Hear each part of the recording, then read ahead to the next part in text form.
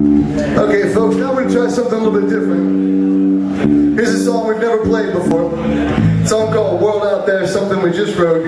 First time we ever played it live, so if we uh, completely shit the bed on this one, stick with us. Have some kindness.